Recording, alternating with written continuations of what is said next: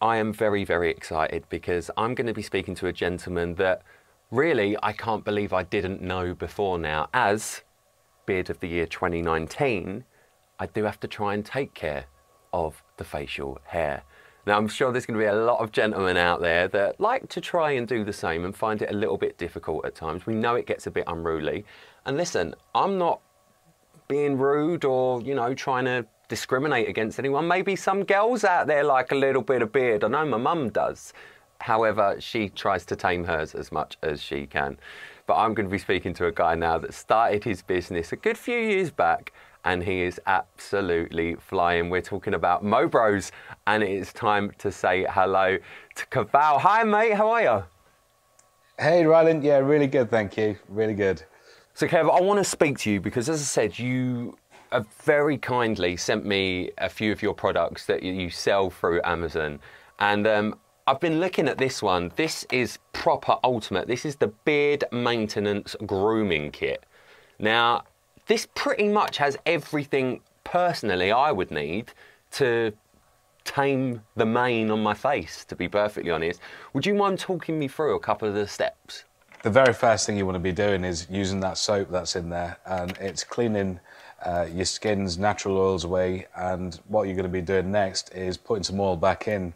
So we've got um, a little beard oil in, in the kit for you. Yes, we have. Um, Go on the beard oil. And we've and then we've got two styling products uh, that are included, so beard balm or butter, and it's it's just a matter of choice with those two. Um, you could go for a butter, which gives you a really nice matte finish, or you could go for a balm that gives you a slight shine.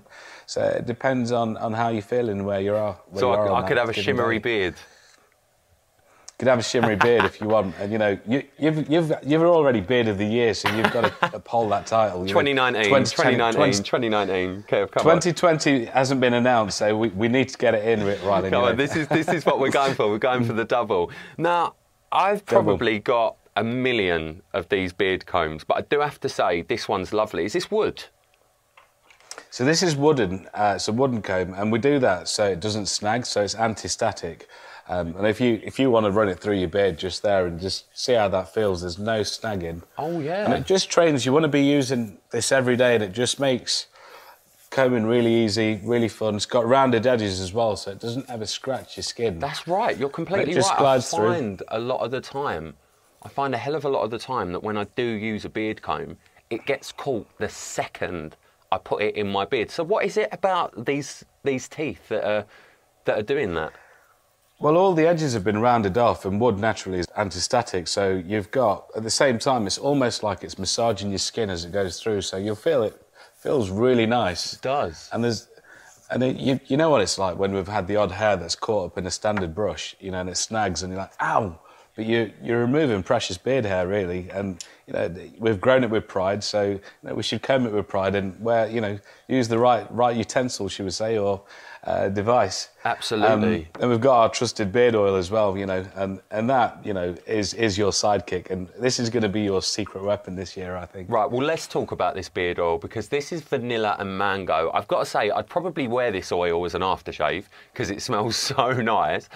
I always get confused with a beard oil. Do I pop that in my hand and pop it on my beard and then comb, or do I actually put it on the comb?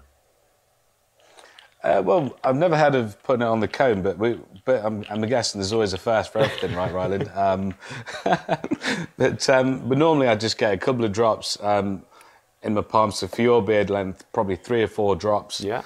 And then you really want to just work it into your hands and really get it in there. You know, um, want to get it right down to the skin, into your moustache, and all the little creaks, and then over your beard as well. And you can feel as soon as that goes on, you know, it, it yeah. smells good. It and does. it just makes your beard feel soft, and you can see see already it's give you a slight little shine to it. So that shiny It's just just that feeling.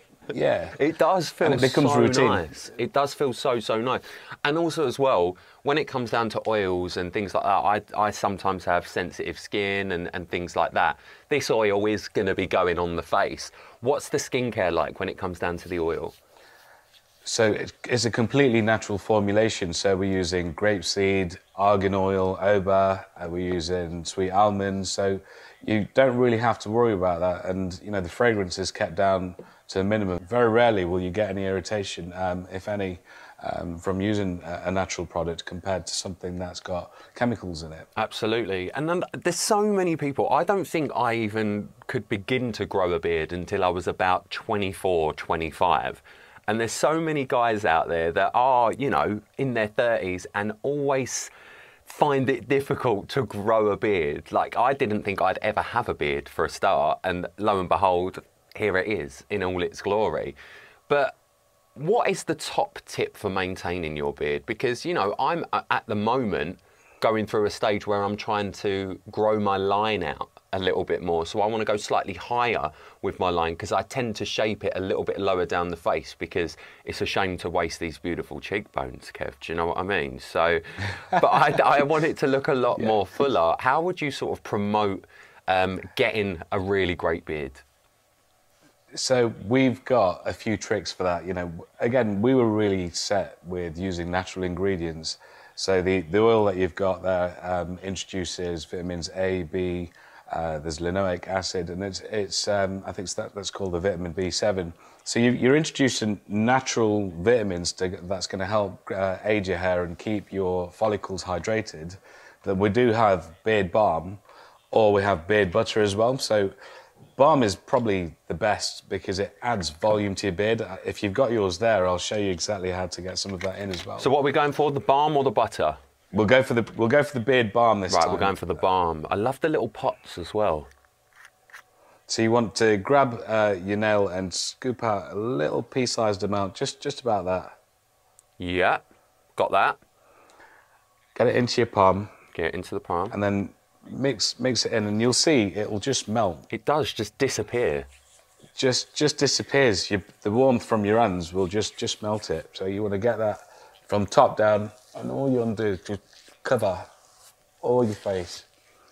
Oh yeah. Oh, it feels so. And you'll soft. find that it'll it'll make it really soft. It's going to make it give you a slight volumizing look, and, and and it gives it tops up that little shine as well. So it gives you a fuller look straight away. Oh, that is really nice. I'm just now looking at myself on the camera.